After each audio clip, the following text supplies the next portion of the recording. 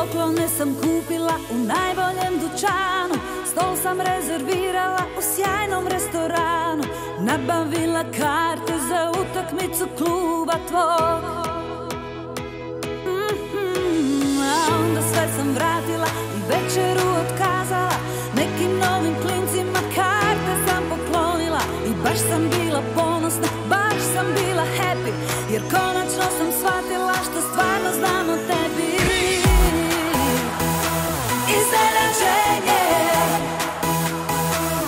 Iznenađenje Ja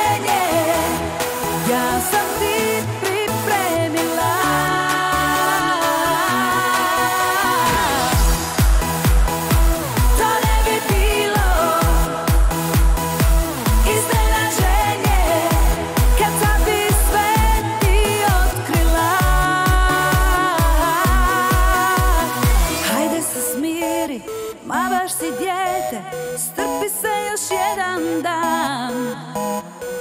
Iznenađenje za tebe